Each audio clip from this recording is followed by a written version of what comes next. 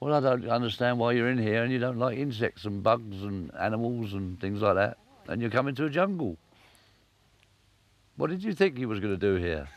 Drink milkshakes? hey, No, I just thought I'd deal with it a lot better.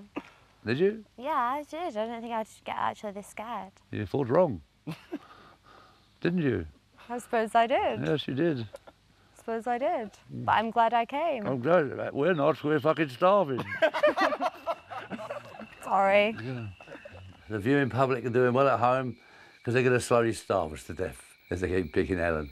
But you pays your money. That's what you get.